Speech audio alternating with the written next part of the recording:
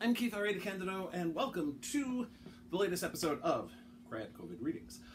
I'm reading my writing to make the pandemic palatable.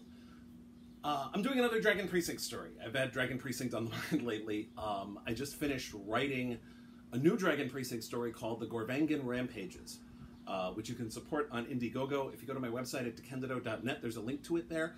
Um, or just search on Indiegogo for Gorvangan, G O R V A N G I N. Um, it's going to be the only thing you find under name, believe me. Um, I just finished the, the novelette, really. It's a 12,000 word story. Uh, it's going to be made available to the Indiegogo supporters, but because of the way Indiegogo works, you can still support it and get your hands on a copy of the story as well as some of the other perks. Anyway, um, because of that and because I'm gearing up to write Phoenix Precinct, I've had Dragon Precinct on the brain, and uh, so I wanted to read another one of my many short stories in that milieu. This particular story is called Fire in the Hole. And I originally wrote it in 2010 for an anthology called Dragon's Lure. Um, in the period between 2004, when Dragon Precinct was first published by Simon & Schuster, uh, and 2011, when Unicorn Precinct was published by Dark Quest Books, uh, it was kind of foul. The, the, the imprint the Dragon Precinct was published as part of with Simon & Schuster was discontinued. So the series was kind of left orphaned. Uh, and then later in 2011, it was picked up by Dark Quest, and it's kind of rescued by the small press, as many series have been over the last uh, 15 years or so. And um, well, 20 years now. Well, whatever. Anyway, I can't I can't do math. The the way I kept the universe alive between 2004 and 2011 was through short stories. I've still done short stories since then, also, but in particular, before Dark Quest picked the series up, that was a good way for me to do it. Um, Dark Quest also published Fire in the Hole, um, and uh, it was edited by Danielle Ackley McPhail and uh, Jennifer Ross and Jeffrey Lyman, and was all about stories about things that lured dragons, basically, as, as the title would indicate. Uh, Dark Quest has since kind of fallen into the swamp, um, so it's not really that easy to find Dragon's Lure anymore. You can probably find used copies online and stuff, but conveniently, uh, I reprinted Fire in the Hole in Tales from Dragon Precinct, my 2013 uh, short story collection and uh, since I can't find my copy of Dragon's Lure anyway, I'm going to read it from that. Anyway, this is Fire in the Hole. Um, the, the, I, I, should also add that one of the reasons why I wanted to write this story in particular, and my T-shirt should give you a hint as to that. Uh, people see Dragon Precinct and they think, "Oh, look, a book with dragons in it." Except, of course, it doesn't. Um, the, the different precincts indicate uh, the different regions of Cliff's End. Dragon Precinct being the middle class district, Unicorn Precinct being the upper class district, and so on. Um, so I figured I should have at least one Dragon Precinct story in which a dragon actually appears, and this is it. So, without further ado, Fire in the Hole. I hate Midsummer. At Lieutenant Danthres Tressilian's 50th uttering of that exclamation in the past hour, her partner, Lieutenant Torin ban Wyvald, sighed heavily an action he hid from Danthres by stroking his thick red beard. They were pacing along the wooden barricades that had been placed on either side of Mirka Way to keep the crowd from interfering with the midsummer parade. Unlike the last several years, the Cliff's End Castle Guard decided not to pay the exorbitant fee, which had gone up by 20% every year, to the Brotherhood of Wizards for a magical barricade that was more effective against a teeming throng of people pushing against it than a series of long, thick blocks of wood, each supported by four shorter, thinner blocks of wood. The Lumber Guild charged half of what the Brotherhood did for their barricade, and the Lord and Ladies Chamberlain had insisted that it would do the job just as well. Watching four muscle bound humans, three short but sturdily built dwarves, and a tall elf all pushing against one of the barricades, trying to get a better view of the flower covered float put together by the Gardeners Guild, Torin was skeptical as to the Lumber Guild's claim. Danthres had also noticed the eight people jockeying for position, with the elf in serious danger of stepping on two of the dwarves. The third dwarf glared up at the elf, and Torin knew that that could only spell trouble. Hey! Danthres put a hand to the hilt of the standard issue sword that dangled from her hip scabbard as she bellowed. This garnered no response, as the dwarf was too busy cursing at the elf in Ratelvish. Torin's facility for the elf's native tongue was weak, but the dwarf's body language spoke volumes. Danthres bellowed again, now standing directly on the other side of the barricade from the group. Hey, that's enough. Looking down on Danthres with the disdain that only an elf could muster, he said in common, Who are you to speak to me that way, half breed? Knowing that Danthres's likely answer to this query would be along the lines of the person who will kill you in six seconds, Torin stepped in. She is lieutenant in the Cliff's End Castle Guard, as am I, and we have the authority from the Lord and Lady themselves to arrest anyone we feel has the potential to disrupt this most solemn occasion. Danthres added, Either the elf moves, the dwarves move, or all four of you go to the hole. One of the dwarves said, We're not moving! It took us hours to get up to the edge of the barricade. If we change our location now, we'll never see anything! The elf was still staring down his nose at Danthres. I thought the lieutenants and the castle guard were tasked with solving crimes, not crowd control. Or did they realize that a person of your limited breeding was incapable of such complex tasks? To Torin's surprise, Danthres's response was not to take her sword all the way out of its scabbard, but to instead smile. Her face, which combined the worst elements of her dual heritage, did not allow for pleasant smiles, and this one was nasty even by her high standards. At the sight of it, the elf visibly paled. Thank you. I was really hoping I'd get to kill someone today. Putting a hand on her shoulder, Torin said, Don't, Danthres. There'll be paperwork. The elf held up a hand. I refuse to be treated this way! She threatened me! Torin stepped between Danthres and the elf and grabbed the latter's arm. Sir, I'm afraid that in the name of the Lord and Lady, I must place you under arrest. Step under the barricade and make no sudden movements, please. By this time, they had created a spectacle, and more people were watching the tableau than were observing the parade. To be fair, the Cooper's Guild float was going by, and all they'd done was put a pile of barrels on a cart. Torin wasn't concerned. The crowd would find something else to distract them soon enough, especially once the float from the Prostitutes Guild came into view. Torin led the elf up Mirka Way toward Oakway, the official border between Unicorn and Dragon precincts, and the separation point between the upper class and their mansions and the middle class and their more modest homes. Oakway itself had been a simple tree lined pathway for many years, the land owned by the Haslar family. The Haslars had owned one of the two banks in Cliff's End, but a year ago, Jatan Haslar had a falling out with the Lord and Lady. He agreed to a merger with the Cliff's End Bank prior to the entire family moving to Erin. While the Haslar mansion at the end of Oakway was purchased by the Grovis family, owners of the Cliff's End Bank, the rest of the thoroughfare was sold to the Lord and Lady, who put it up for public auction. So where Oakway had once been empty of habitation, it was now lined with buildings at various station, stages of completion. Where are you taking me? The elf asked angrily as they started down Oakway. I know for a fact there are no precincts here. Your grasp of the obvious is impressive, good Sir Elf, Torin said with a smile. We have commandeered one of the new homes here as a holding area. You see, Danthres added, the sheer volume of offenders such as yourself that were forced to arrest during midsummer requires it. The elf said nothing in reply but did scowl at Danthres again. She just smiled back. One of the benefits of the money saved on not using the Brotherhood's barricade was that the guard was able to pay for the additional holding areas, which proved a boon. The holding areas in the Castle Guard's various headquarters, both the dungeons in the Lord and Lady's castle and the areas in the four precincts, all collectively known as the Hole, were always filled beyond capacity within the first hour of midsummer. And the added space ameliorated the problem quite nicely. Two guards, Manfred from Unicorn Precinct and Kellen from Dragon Precinct, were standing at the doorway to the house that was being used. Though completed, it was not yet furnished or occupied, and the owner was more than willing to delay moving in for a fortnight in exchange for the castle guard's cash. Kellen looked at Manfred and smiled. That's a dozen elves. You owe me a copper.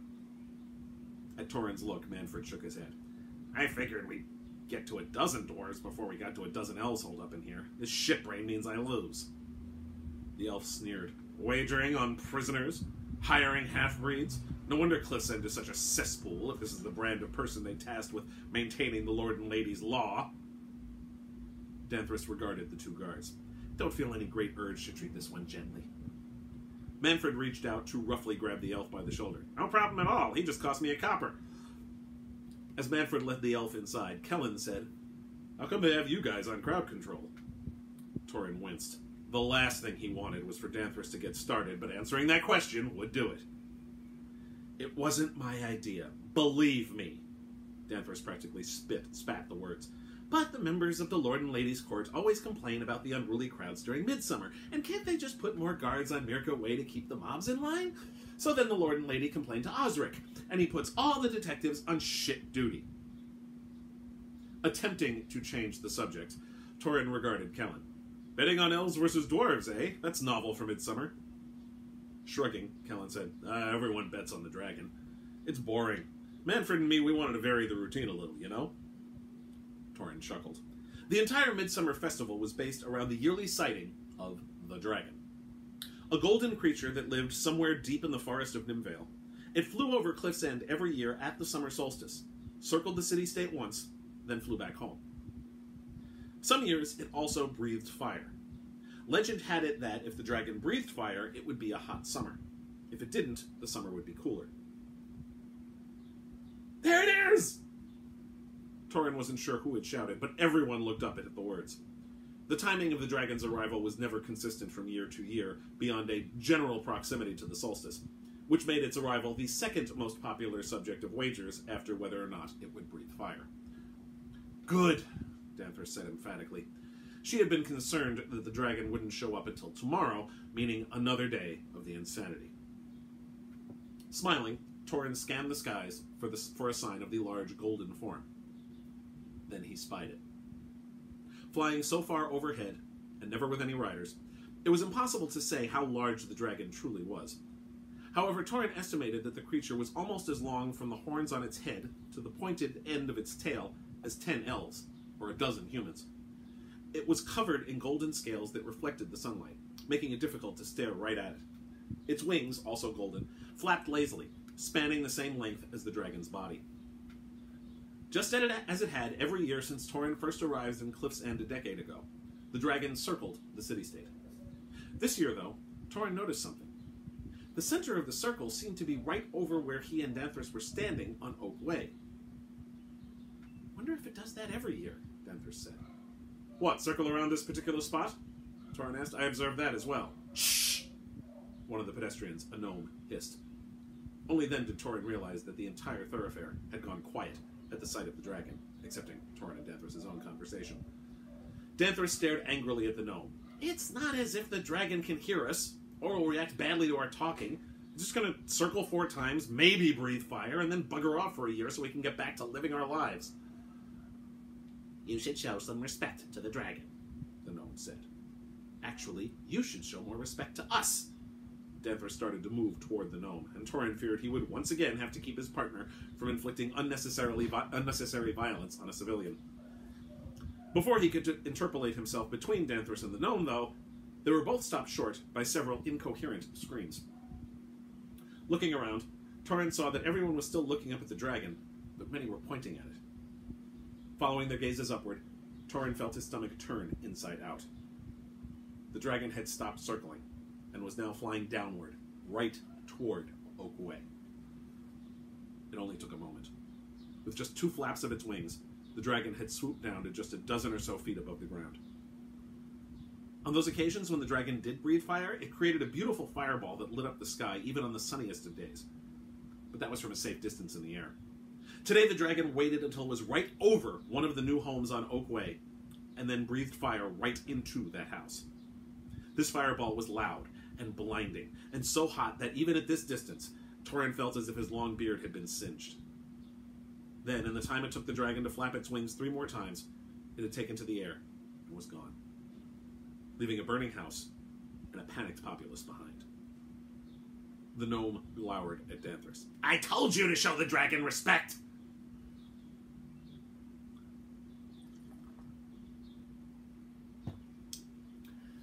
Danthres was beyond exhausted when she and Torin dragged themselves back to the castle the following morning. Her intention had been to go home and sleep for several days straight, but as she and Torin were about to do so, one of the youth squad came by. The girl, one of a cadre of children employed by the castle guard as messengers, informed them that Captain Osric wanted to see them at guard headquarters in the eastern wing of the Lord and Lady's castle immediately. Summons from the captain were not to be ignored. Danthres came very close to doing so anyhow. Dragging themselves to the captain's office, Danthres couldn't even be cheered by the smell of pastries that Sergeant Jonas's wife made every morning. It didn't help that there was no sign of Jonas himself, nor of the other four detectives on their shift. Danthres hoped it was because they were still helping with the post midsummer cleanup, because if they were allowed to rest while Danthres and Torin had to haul themselves to the captain's office, they would be hell to pay. Osric was sitting behind his desk, facing two people in the guest chairs. Danthres was about to turn around and leave until he was done with this meeting, but Osric said, Tresillian, ban Wyvald, glad you're here. Come in. The captain was sharpening his dagger, which was always a bad sign. Danthres hissed a breath out through her teeth. Not only was she denied sleep, but she had to stand during a meeting. Captain, she said, we've just spent the entire night putting out a fire, getting medical care for the wounded and burned people, and arresting panicking, rioting idiots. Is there any way that this meeting can wait until. Now, Lieutenant, said one of the people in the guest chairs. It cannot wait. In fact, it's waited too long as it is. The person turned around, and Danthres let out a sigh. The person in question was Lord Ithran, the wizard in charge of affairs in the Cliff's End vicinity for the Brotherhood of Wizards. Danthres had yet to share a single meeting with Ithran that was pleasant in any way, shape, or form. Osric regarded Danthres and Torin with his right eye, the left one as ever covered with a black silk patch. There's a double murder that you two are required to investigate. Danthres found herself torn between anger at being asked to work a case when she was physically and mentally exhausted, and relief at being put back on the duty she was actually paid to perform. Since she was already angry, she went with the former, as it was less work. Torin asked, Who are the victims? Ella and Garrick Fantar. Rolling her eyes, Danthres said, Well, that's easy. They weren't murdered, they died in a fire. Domi Fantar was the owner of the house that was in the path of the dragon's fireball. Ella and Garrick were his wife and son.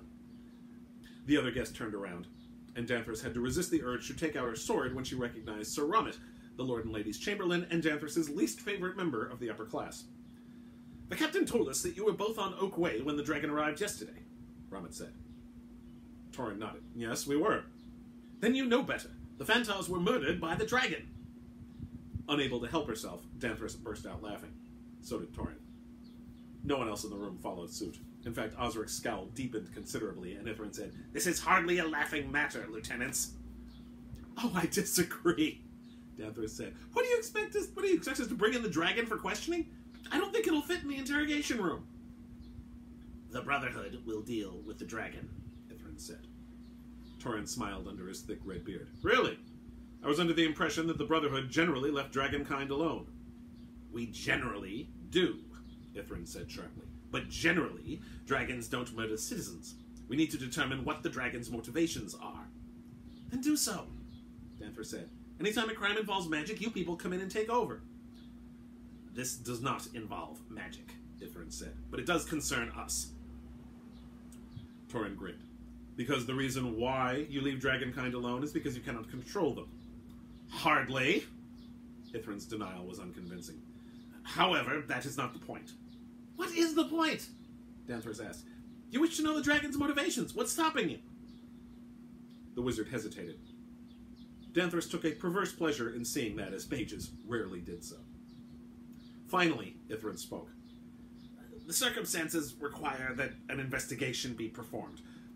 The lieutenants of the castle guard are specifically trained in such, and we feel that it will facilitate matters if the pair of you perform that investigation. Danthres and Torin exchanged shocked looks. Let me see if I understand you, Danthres said slowly. You want our assistance. You, who routinely interfere in our work, who regularly ride roughshod over our investigations, now you want us to perform an investigation for you. No, Rommet said with a stricken glance at him. That, that is not what is happening here. The Lord and Lady feel that this is a murder like any other, and should be investigated just like any other. It simply happens that the Lord and Lady's wishes coincide with those of the Brotherhood, and we are all in agreement that the pair of you are best suited to carry out the investigation. Really? Danthres shot Osric a look, but the captain was focused very heavily on sharpening his dagger. The fact that the Brotherhood is utterly incapable of performing a murder investigation has nothing to do with it. Be careful, Lieutenant, Ithran said in a low voice. Why? Danthres stared at the wizard. You're the ones who need our help. Osric finally spoke up while getting to his feet. Threats aren't necessary, your lordship. My lieutenants are simply tired after a very long day and night protecting this city-state. They will, of course, carry out the investigation as part of their regular duties. If that is all, Romet and Ithrin exchanged glances of their own. Then they also rose. The Chamberlain said, I, I believe so, yes, Captain. Good day. While Romet cleared out of Osric's office quickly, the wizard stayed behind. Is there anything else, your lordship? The captain asked. No, Ithrin said, but I will, of course, be accompanying the detectives. Danthres put her head in her hands. Very well, then, Torin said before Danthres would comment, which was probably very wise of him, given Danthres's current mood. Generally, the first step of a murder investigation is to examine the scene of the crime. There's not much to examine, Danthres said. The place was burned to a crisp. What she didn't say aloud was that she'd spent all night on Oakway and was displeased at the prospect of going back with Ithrin in tow. It's still worth looking, Torin said. Ithrin's face grew sour. I agree with Lieutenant Tresillian. We need to determine the dragon's reasons for targeting that house, and learn why it did so this year as opposed to years past. Danthres shrugged, and also reconsidered her feelings on the matter, if Ithrin actually agreed with her. Apparently, something changed this year. Well, one very obvious thing did change, Torin said. The homes on Oak Way. All those constructions are new since last summer. Yes, Ithrin said, but why that house? All the more reason to examine what's left of it, said Torin. Danthres nodded. Agreed, but I doubt we'll find much. When we're done there, we should bring Domi Fantar in, ask him about the construction of the house. Ithrin started to gesture carefully. Excellent! Let us go! The next thing Danthres knew, she was doubled over on Oak Way, disgorging the contents of her stomach. She really hated teleport spells. As expected, the burned out remains of the Fantar residence provided little of use. To Danthres's relief, Ithrin stayed in the background most of the time they were there. The bulk of what they found, of course, were the burned out husks of items that used to be in the Fantar house, or used to be the Fantar house. The bodies of the two victims had, of course, long since been removed. After that, the detectives had the surviving Fantar brought to the interrogation room in the eastern wing of the castle. To Danthres's dismay, Fantar had nothing of use to say. He'd never encountered a dragon before, never had dealings with them, didn't entirely believe they were real. With a guilty look at Ithrin, he admitted that he always thought the midsummer festivities to be a trick performed by the Brotherhood. Danthres was about to let tell Fantar he could leave when Torin spoke. Did you remove anything from the grounds before you had the house built? A tree or a rock or an object of any kind? Fantar squinted. Oh, there was a mess of oak trees, yeah. Had to clear them out. Lumber Guild paid good money for them, too. Only oaks? Torin asked. Yeah, that's it. And nothing else. Oh, well, there was that old trail marker. Uh, it was a rock dug deep in the ground. Cost five silver to have the thing removed, but the fellow from the museum paid me three gold for it, so I came out ahead. Danthres had been about to complain to Torin about wasting time, but this last statement made her hold that back. Instead, she stared at Fantar. You're sure this was a trail marker? That's what the fellow from the museum said. Fantar shrugged. Said it was buried so deep it had to be from before the city was founded. And there was trail markers all over the place then, you know, leading folks to the Garmin Sea. Why? Just trying to get a complete picture of what happened, Mr. Fantar. We may have more questions. Danthres hustled the man to the door. Ithrin stared at Danthres and Torin, both after Fantar left the room. I fail to understand what a trail marker has to do with. Oakway didn't exist until long after Cliff's End was founded, Danthres said. The members of the Lord and Ladies Court had the oaks planted and the thoroughfare established in order to separate them from the riffraff. The only trails, and the only places that would have old trail markers, are in Mirka Way, Sandy Brook Way, and Salmon Alley. I still fail to understand, Torin said. If it wasn't a trail marker, it was obviously something else. Something that predates the city's founding, and therefore possibly something an ancient creature such as a dragon might know about. Ithrin rubbed his hands through his bone white beard. Well, very well. We shall proceed to the museum. The mage started to gesture. Before Danthres could stop him, they were instantly at the Lord Kiowa Museum on Galvin Hill, and Danthres was dry heaving, having nothing left to throw up after the last unexpected teleport spell. Don't do that, she said once her retching was under control. But ignored her, instead demanding to see the museum manager, throwing his rank around with typical arrogance.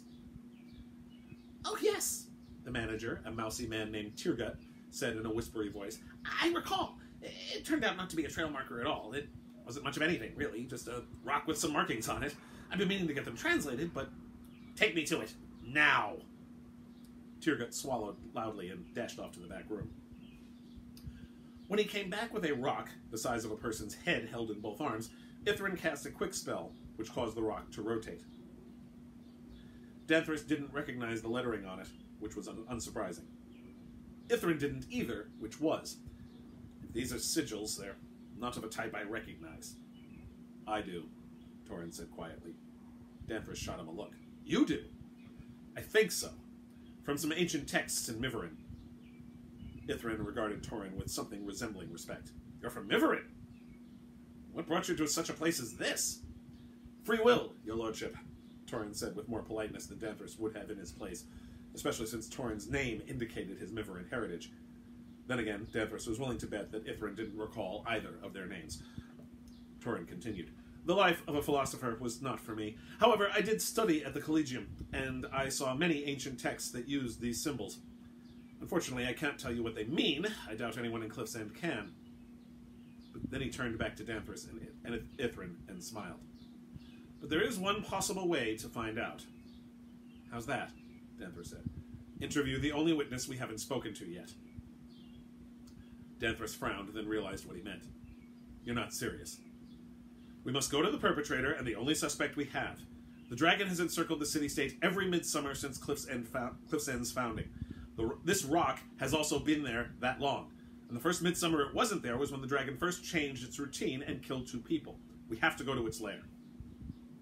Danthres turned to Ithrin. Fine, take us there. Ithrin blinked. Excuse me? Use that bedamned teleport spell and take us to the dragon's lair. Torin added, Surely, your lordship, the Brotherhood is capable of tracking a massive creature that flies to the same location every year, back to its lair. You wanted us to investigate, Danthres said. This is where the investigation leads. The same place it always leads, to an interview with the primary suspect. Ithrin stared at them as if they were mad, for which Danthres couldn't entirely blame him. You wish to interview a creature that is thousands of years old, refuses to have any congress with any other races, and could kill you with a simple exhalation.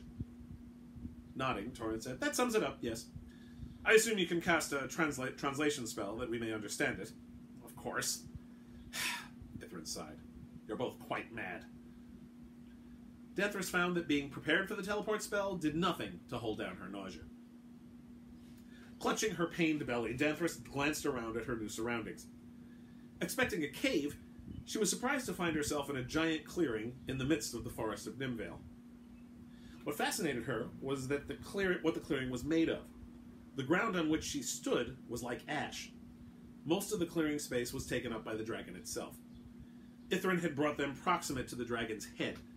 The body was sprawled out on the ashen ground as far as even Danthres's sharp eyes could see. The dragon's eyes were shut, but then Ithrin sensed something in what Danthres presumed to be the dragon's own tongue. A single eye, which by itself was about the size of Danthres's torso, opened at Ithrin's words. The dragon said something that was sufficiently loud that Danthres and Torin both had to cover their ears. Ithrin then made a quick gesture and muttered an incantation. A flash of light from something in his bag later, and the dragon's words became comprehensible. You be humans, are you not? I cannot recall the last time these eyes beheld a human.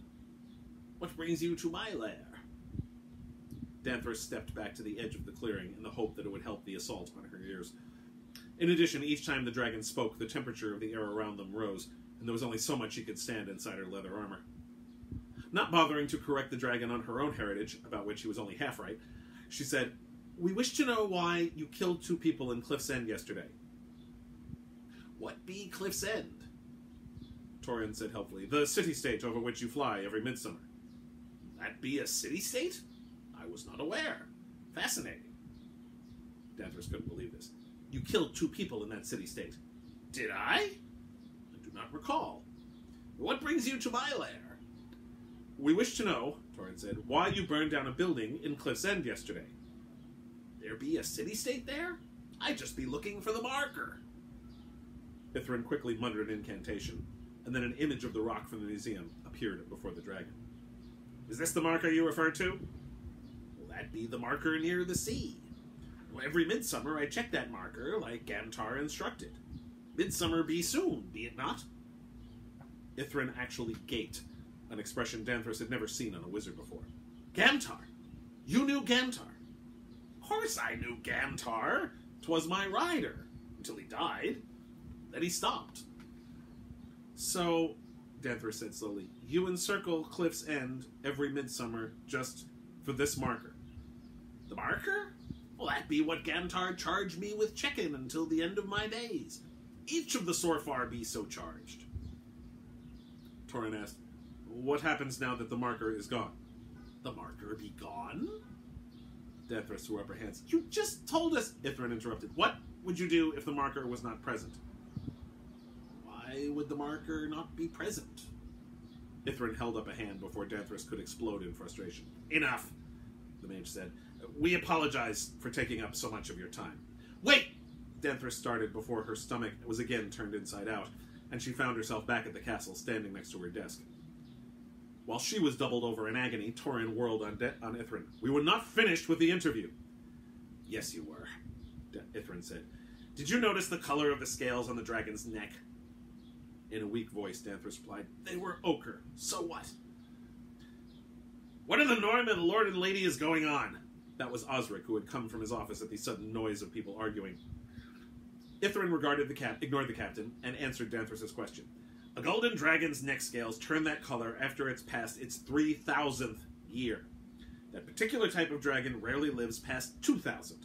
Also, Gamtar was a dragon rider during the reign of Silene the Weary. It's likely that the marker was one of the cornerstones of the spell the dragon riders used to banish Helsek Gam a thousand years ago. Torin frowned, but Helsek Gam returned from banishment and was killed. Danthres raised a hand. I haven't the foggiest idea who any of those people are. Osric regarded Ithrin with something like amazement. You mean that rock that Fantar dug up was one of the rune stones that banished Helsek Gam? Quite likely, yes, Torin said, which means that it is also quite likely that the dragon came out every midsummer to check on a marker that maintained a spell that is no longer running. Why would it do that, Ben asked Osric testily. Danthres answered, because the dragon is 3,000 years old and hasn't got much of a brain left. The case is completed, Ithrin said dismissively. The Brotherhood will handle it from here. We will ensure that the museum returns the marker to its proper place for the time being. With that, he uttered the teleport spell and disappeared from the castle. Finally, I thought we'd never be rid of him. Torin asked Sergeant Jonas, who had just come dashing in for some tea for Danthres, for which he was grateful. Sitting at her desk, she said, So that's that then. The entire ridiculous midsummer ritual, the parades, the bets, the celebrations, the rioting, the drunken idiocy, all of it was because a dragon was too dim to realize he shouldn't keep doing what he'd been told to do by a rider who's a thousand years dead. Osric scowled. Midsummer isn't ridiculous, Tresyllione. It's the most popular festival of the year. Do you know how much coin is made during Midsummer? Including by us, thanks to all the overtime. Torin added with a smile. Perhaps, but I'll still take sleep over this nonsense again. Well, it may not matter. Torin was now scratching his thick beard. The dragon will die soon. So, Osric said, people will still expect it. It'll give them something new to bet on. Besides, who cares why it started? It's tradition, so it'll continue. Joy, Danthres muttered. I hate midsummer. That story appeared in Dragon's Lure, which was published in 2010 from Dark Quest Books. Good luck finding it, but you can find it in Tales from Dragon Precinct, which was reissued by eSpec Books in 2018 uh, with this spiffy cover, uh, so you can get it there. Um, please do check it out. Um, check me out online at decandido.net. Uh, there's links there to support the latest Dragon Precinct story, The Gorvangan Rampages. Um, you can uh, read my blog at decandido.wordpress.com. Uh, you can support me on Patreon at patreon.com slash krad. Uh, and you can subscribe to this particular YouTube channel. Uh, if you click on the KRAD COVID Readings thing under this video, you can uh, subscribe to it and be alerted when there's a new video. Uh, I try to do one every Monday, Wednesday, and Friday at this point, so uh, keep an eye out. I've got lots of lots more stories to read and lots of cool stuff planned. So thank you very much, and please stay safe.